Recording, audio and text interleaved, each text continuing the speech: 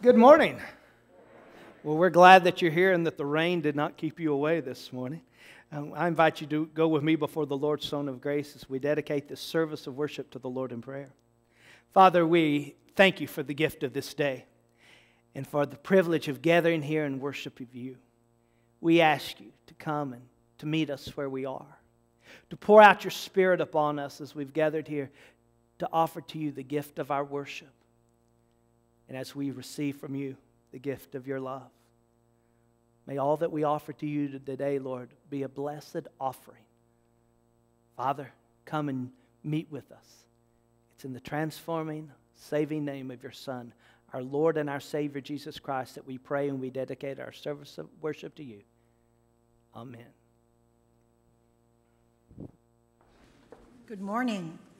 It is good to see everyone here this morning.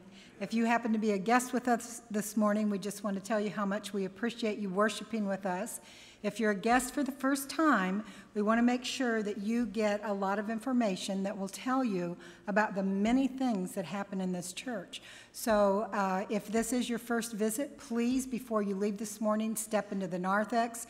And at the desk there, just give us your name and address.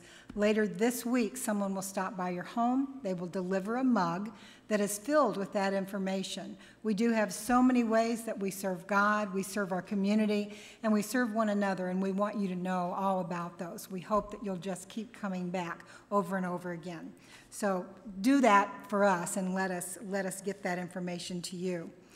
Um, if the attendance pads have not been passed, do that now. If someone new has come into your row, pass them one more time because we do like to know who's here.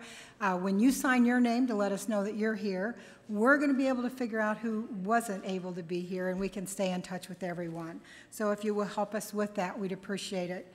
If you will open your bulletins to the ministry opportunities and events, there's some that I, I would like to announce that aren't listed in the bulletin, and that I will begin with uh, the pledges for 2013. If you haven't had a chance to turn your pledge in for 2013, um, if you could do that pretty quick, we are wanting to get that, that budget put together. Uh, we need to know how we can spend our money, and you can help us do that if you will just do your, your part. If you've lost your pledge card, we've got them out in the narthex. You can pick one up. Call the office. We'll be glad to help you in any way that we can. There are two special uh, worship opportunities that will be happening in the next two weeks.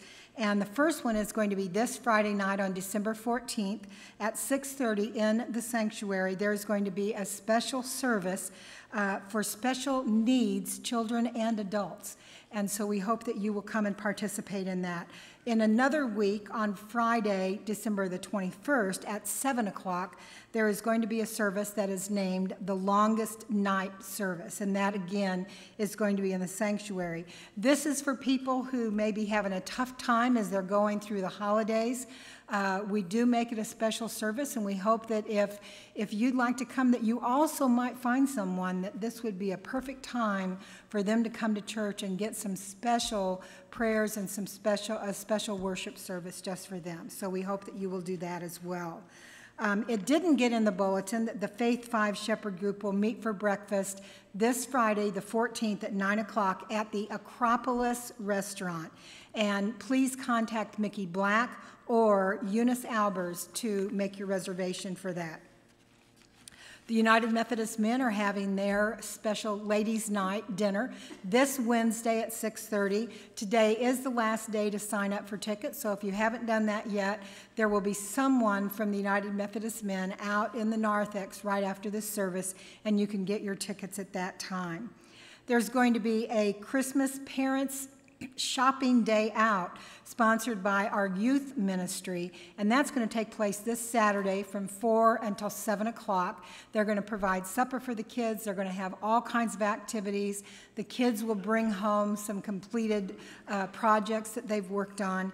And all to give parents or grandparents uh, just a little bit of time off and a little bit of, of relaxation or three hours of shopping, whatever, whatever suits you. So sign up for that in the church office, and today is the deadline to sign up for that as well. Pack a Sack is coming up. It's always the third Sunday of the month. It's coming up next Sunday. The group that we're going to be giving all of the no- donations that you bring in is going to be the Northwest Arkansas Children's Shelter. And they have asked not only just for your uh, non perishable food items, but also food for infants. So any food that you bring in plus food for infants, uh, we want to make a, a good offering to them in this month of December. You can still get poinsettias, and I think you can still order today for a poinsettia. Go to the office to do that, and they will give you all of the details there. Toys for Tots is a very, very worthy organization. Our children's ministry is uh, wanting to help with that, and so we're asking that anyone who can bring an unwrapped, unwrapped child's gift to the church by December 19th and place it in the Toys for Tots box that is right outside of Becker Hall, that would be appreciated. And with that, let's just have a wonderful worship service this morning. Thank you.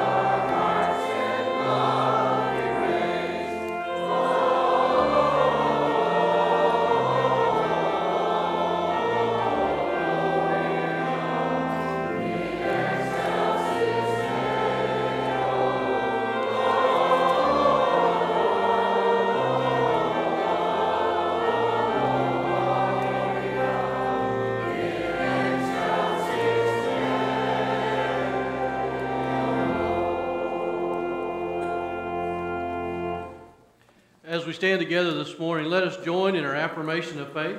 It's found here in your bulletin and also on our screens. It's our Apostles' Creed this morning. Let us join together.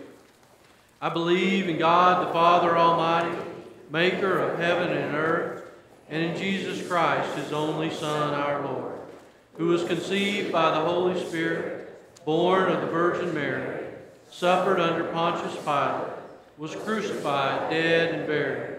The third day he rose from the dead, into heaven, and sitteth at the right hand of God the Father Almighty. From thence he shall come to judge the quick and the dead. I believe in the Holy Spirit, the holy Catholic Church, the communion of saints, the forgiveness of sins, the resurrection of the body, and in life everlasting. Amen. God is good. And all the time. We're glad that you're here, and we need you to help us make sure everyone is made to feel welcome. Will you greet those around you? Maybe you, there's somebody that you've never met before, and you can meet them today. Make sure everyone is made to feel welcome in God's name. I need your help.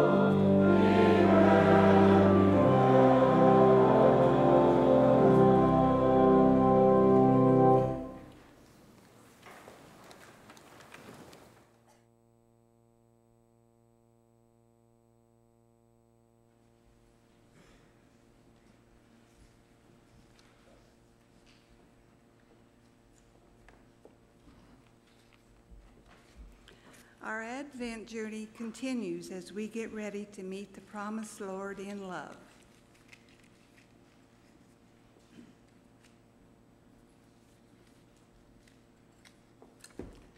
Purple.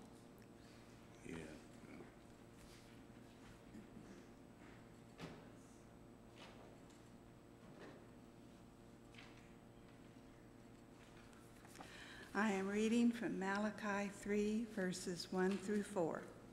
I will send my messenger who will prepare the way before me. Then suddenly the Lord you are seeking will come to his temple. The messenger of the covenant, whom you desire, will come, says the Lord Almighty. But who can endure the day of his coming? Who can stand when he appears? For he will be like a refiner's fire or a launderer's soap. He will sit as a refiner and purifier of silver. He will purify the Levites and refine them like gold and silver. Then the Lord will have men who will bring offerings in righteousness, and the offerings of Judah and Jerusalem will be acceptable to the Lord, as in days gone by, as in former years. As we light the second candle, we are reminded that we must prepare our hearts and our minds. God prepares the way for all to be saved together. We anticipate the day of his coming. Let us pray. Lord of hosts, you are coming to purify our hearts and refine us so that we may be pleasing, living offerings to you. As we joyfully prepare ourselves for the arrival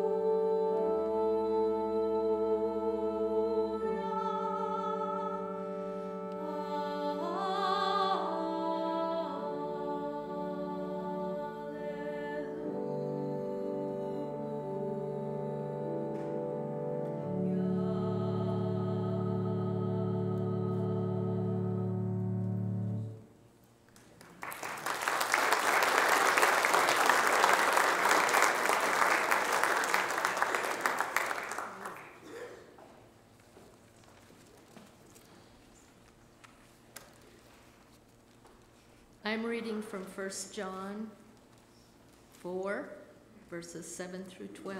Listen to the word of God. Dear friends, let us love one another, for love comes from God. Everyone who loves has been born of God and knows God. Whoever does not love does not know God, because God is love.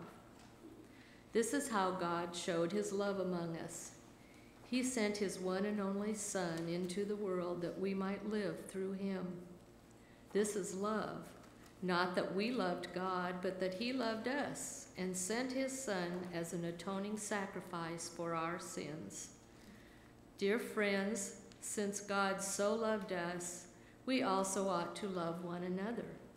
No one has ever seen God, but if we love one another, God lives in us, and his love is made complete in us.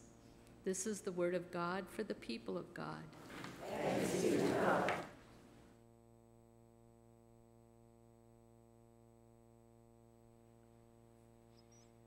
Thank you, Lynn. Thank you, Pam.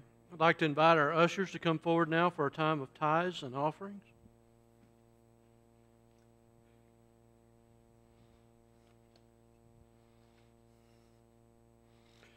As we gather together each Sunday for worship, and at other times when we worship, we offer back to God some of the gifts that God has given us, some of the blessings of this life that we have been given. I pray that we give back in joy. We give back to our church, to our community, and we remember to give to all those around us, knowing that we're all children of God, loved and cherished. If you have very little, or if you just would like to remember those who struggle around the world, I ask that you give a dollar. A dollar, knowing that so many live on so little. A dollar in remembrance of how we are blessed and how others struggle.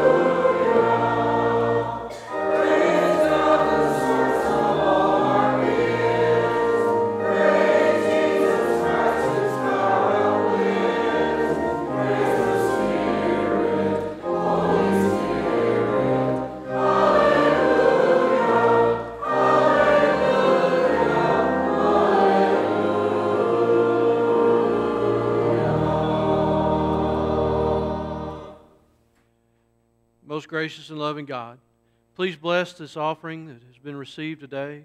Multiply it and use it for your kingdom and for your glory, for your people and for your creation. Lord, thank you for this time.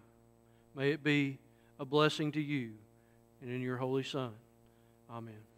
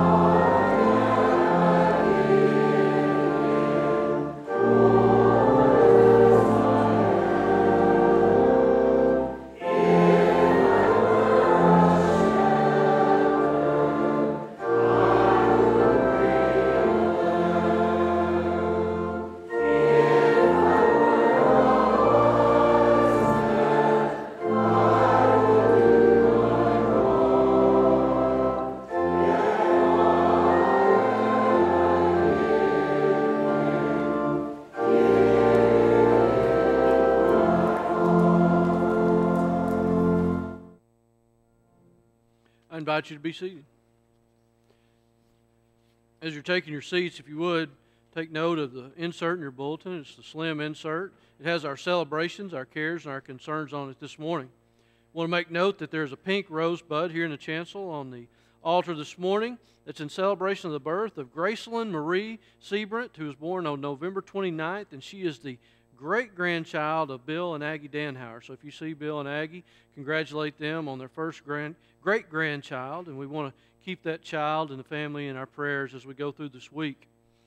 If you would remember those that are listed here, particularly ask those that you remember those that are in the hospital.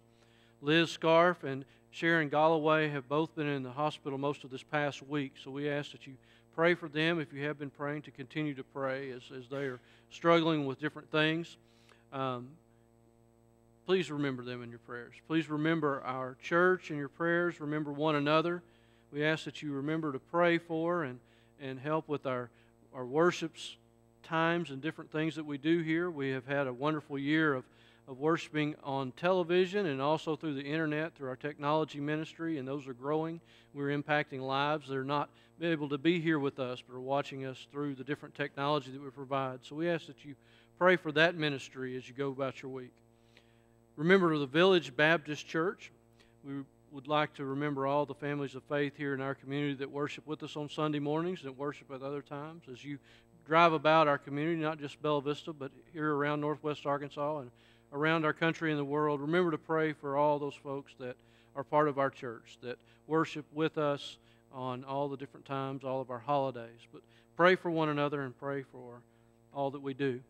As we go through the holiday season, we are having several special worship services. One that or several that Jan mentioned, but one is coming up this Friday. I would like to ask that you pray for it. It is a worship service that we've not done here before. It's a, a special needs ministry. It's a special needs service that we're going to have at 6:30 on Friday night. It will be in Becker Hall.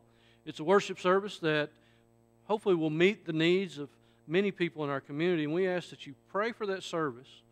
But also, if you, as you meet people around the com- community, invite them and let them know that we are having this service we'll be letting people know in the different agencies and different schools around the Northwest Arkansas. But we asked if you'd like to, you're certainly welcome, and to bring a friend and experience a worship service that's a little bit different.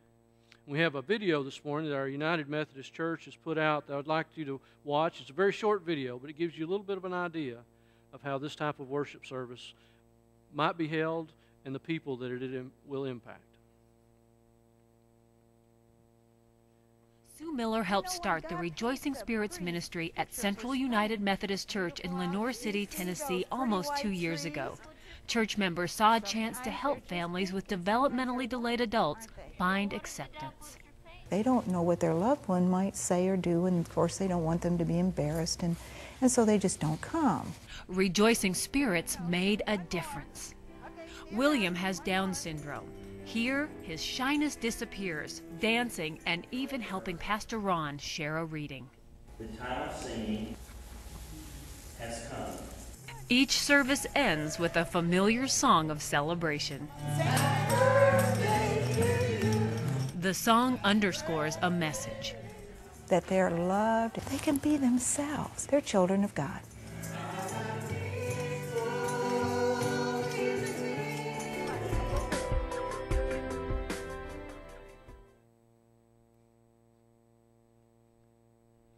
Remember this service and many of our other services we have throughout the holidays and beyond. Remember to pray for each of them. If we would now, let us prepare for our prayer this morning in song.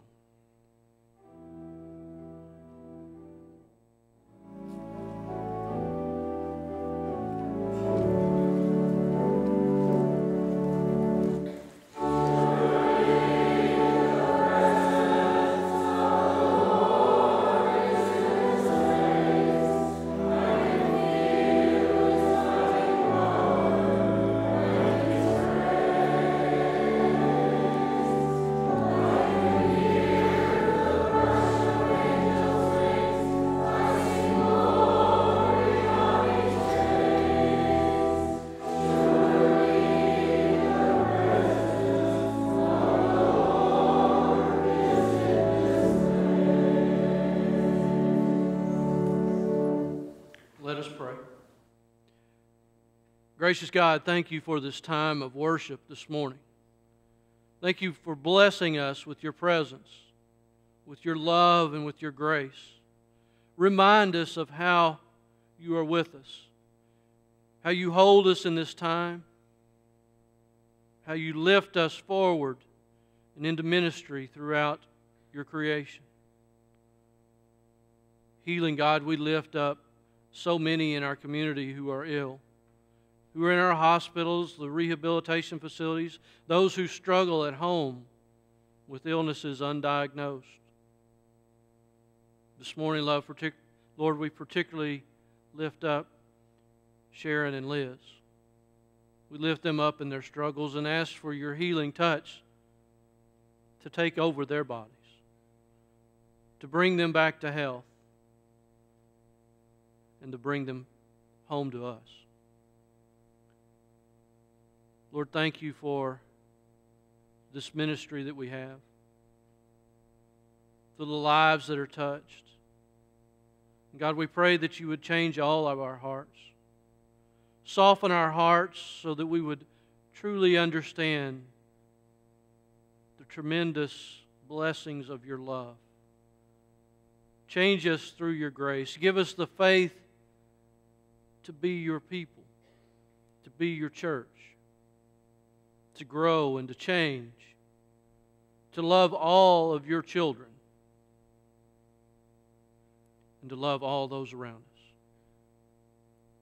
Lord, we ask your blessings on each of us this morning. Heal us of the hurts that we have. Calm our minds and free us from the troubles of the day. Bless Brother Jaimie as he brings our message. May we listen and be changed and reminded of all that we have. All these things we pray in your Son's most holy and precious name, and as we have been taught to pray. Our Father, who art in heaven, hallowed be thy name. Thy kingdom come, thy will be done, on earth as it is in heaven. Give us this day our daily bread, and forgive us our trespasses, as we forgive those who trespass against us. And lead us not into temptation but deliver us from evil. For thine is the kingdom, the power, and the glory forever.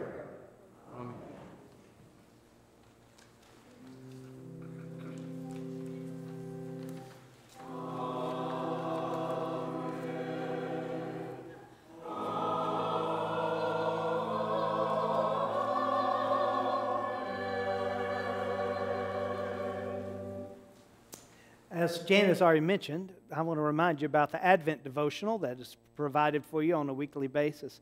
This week, the theme of our sermon series is called The Gift of Love. And the devotionals in this week's devotion follow that theme. You may be getting these electronically by email, or you can also find them on our Facebook page. So maybe you don't need a paper copy. But still, you could pick one up and pass it on and give it to somebody else that may benefit from knowing about God and God's love through His Son, our Lord and Savior Jesus Christ. So I encourage you to pick one of these up. They are located in the narthex in a basket on, on the desk beside the chrismon tree. So be sure and pick one up as you leave this morning. Have you ever forgotten to buy a gift for somebody for Christmas? You know, they absolutely, it slipped your mind. You've had, they show up at the house. and then you scamper and scurry and you try to find something to give to them.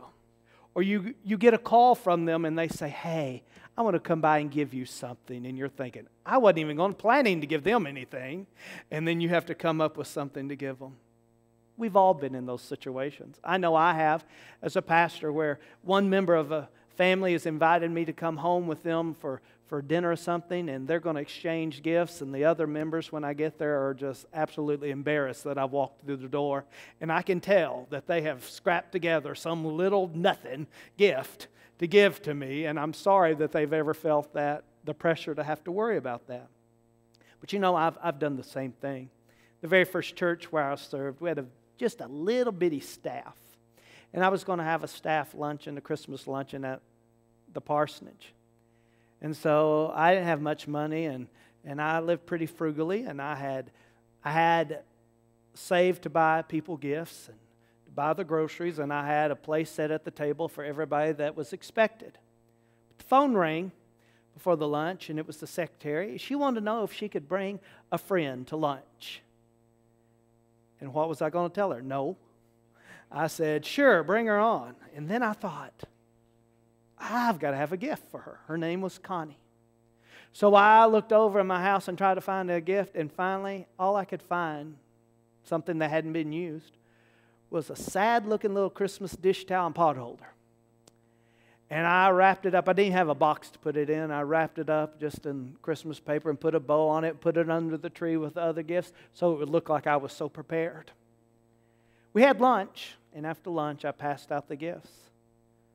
Now, those gifts that I gave intentionally, they were pretty nice gifts. I, I knew the person and their personality and, and what they would like. And, and so those gifts worked. And I gave Connie her little dish towel. And she opened it up. And she acted like she was happy over that dish towel. And we had our, um, finished the day and we went on our merry little way. Well, by the next Christmas, I'd been reappointed to move to a new church. St. Paul in Fort Smith. These are my St. Paul friends right here. And um, I would, every day, I would go to the mailbox and expectantly oh, look forward to receiving Christmas cards.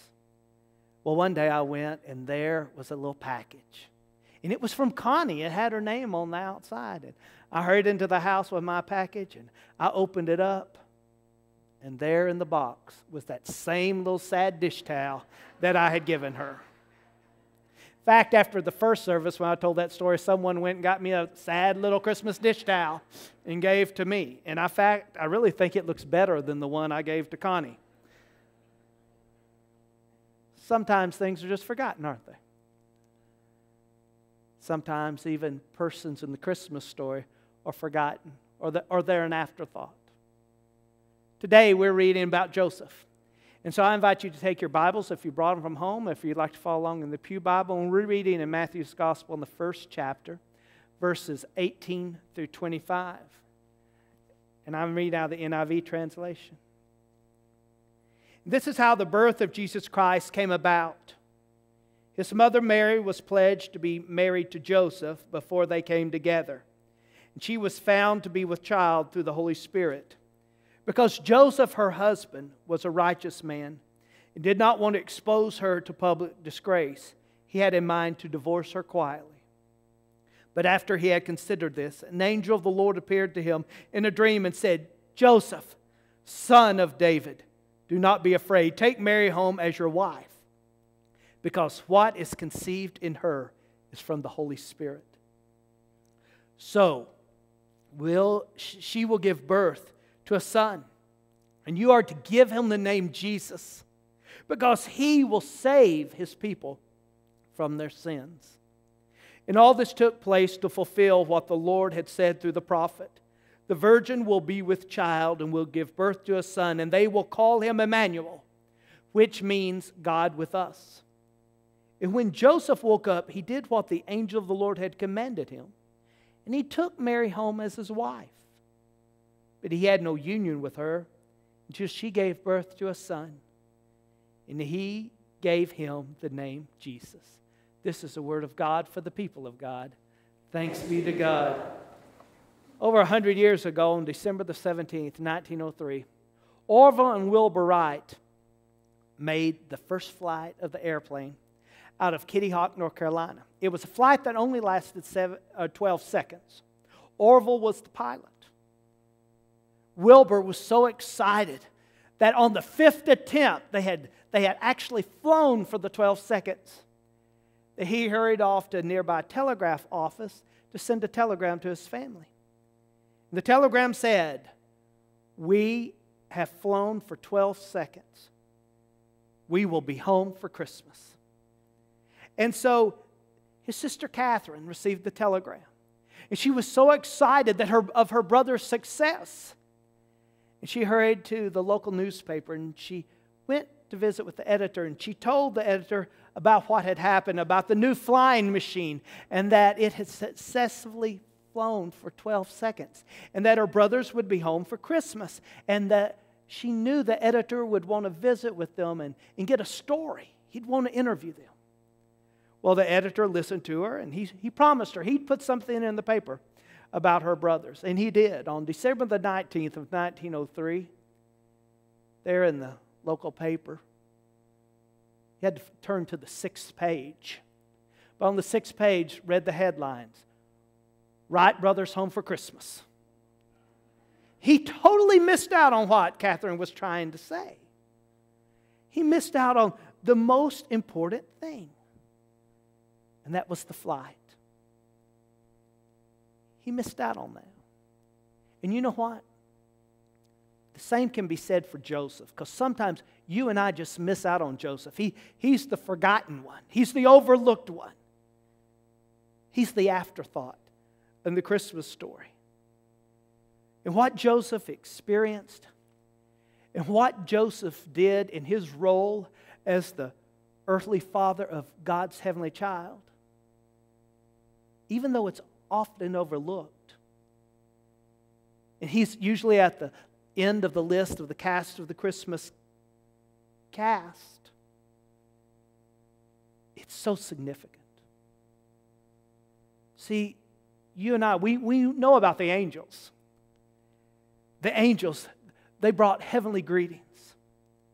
And we really know a lot about Mary and how Mary sang such a holy song over the birth of, of her son.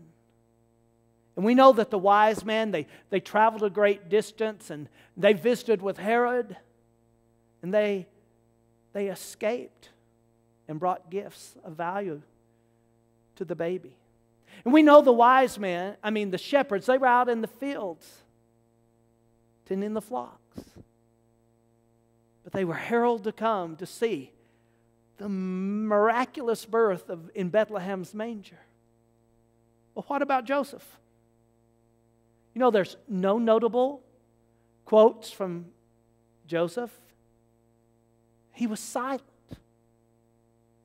He never said a word. No words are attributed to Joseph. And even though Joseph, when you and I talk about those that were a part of the birth of our Lord, is often, unforgot, often forgotten and overlooked, you know, he was, he's irreplaceable in the story of our Lord's birth. Because Joseph was used by God in an amazing way. And it was through Joseph that God came to earth. And it was through Joseph that Jesus was given his name, that he was called Jesus, Emmanuel, that God is with us. And just about everything that you and I know about Joseph is, is found in just a few verses in the gospel, especially here in Matthew in the first chapter. I mean, he had a job to do. He had a very significant job to do, and that was to care for God's Son. That was to raise Jesus as his own. But Joseph had a plan in his life. Joseph, he, he just had a, a simple life. And he had a plan for this life, eh, just to live in the, the role of a carpenter. He had a plan to marry Mary and, and hope to have a family, and he sought to be a righteous and good person and, and to live in a godly way. But things changed. He was clearly disappointed when he discovered that Mary was with child, that she was pregnant. And then he had a, really an internal debate. What should he do? How would he handle this situation? Would he leave Mary and call off the, the engagement? Would he subject her to public disgrace? Would he go through with the commitment of marriage? What would he do? It was an agonizing decision for Joseph because Joseph cared about Mary.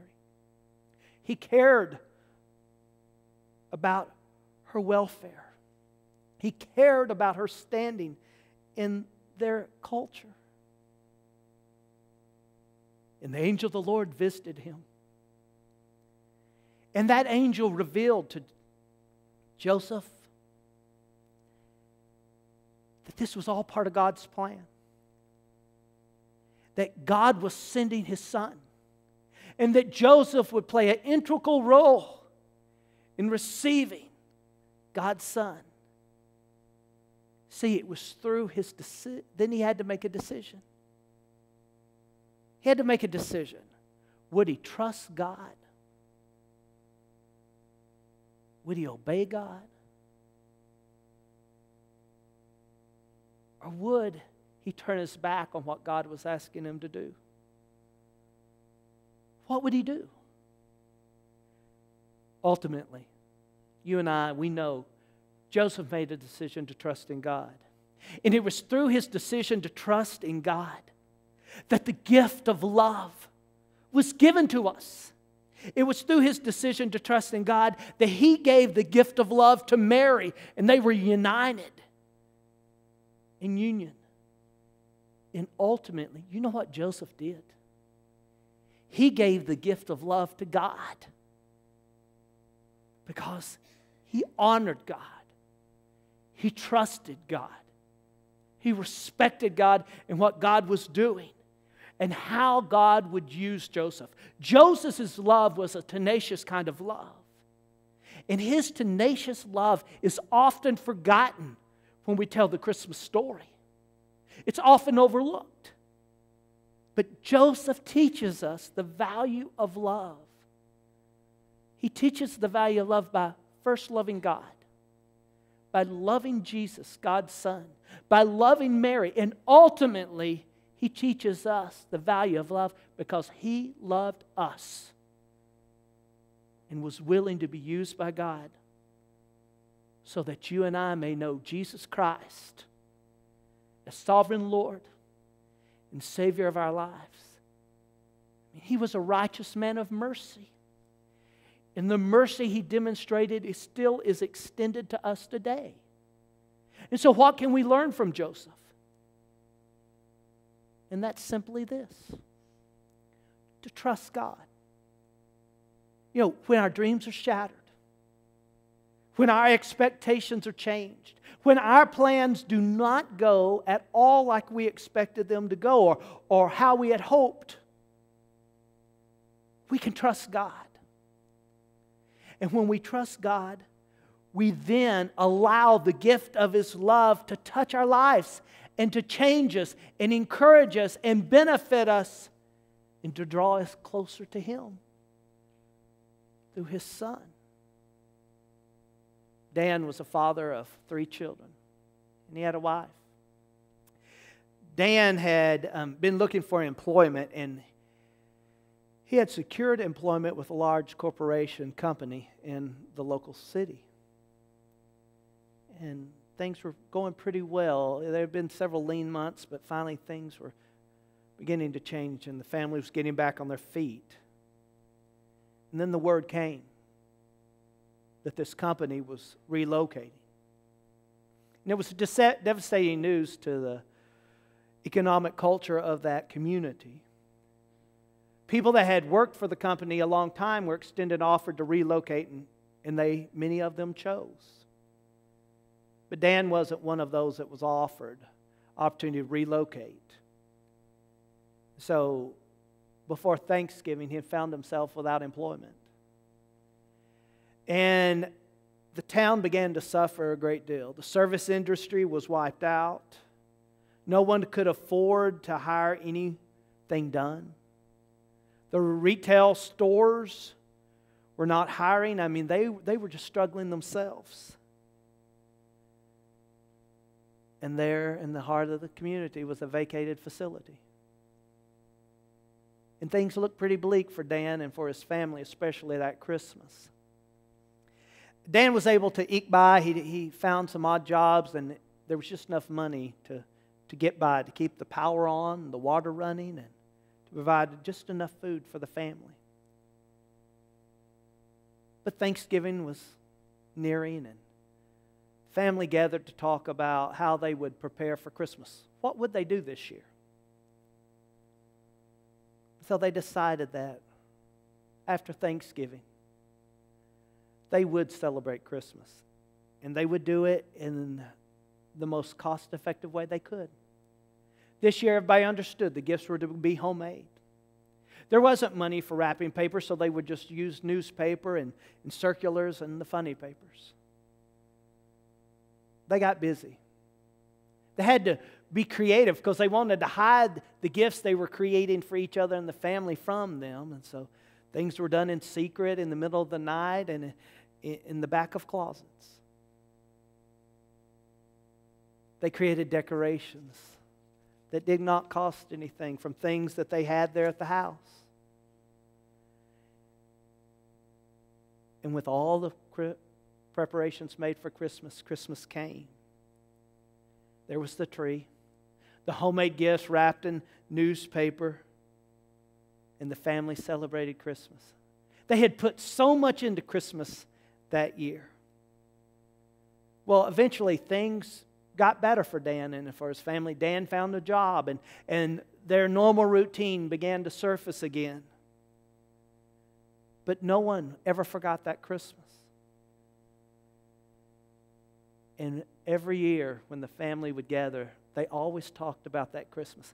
They never forgot that Christmas, that Christmas that took so much energy and creativity and hard work to accomplish.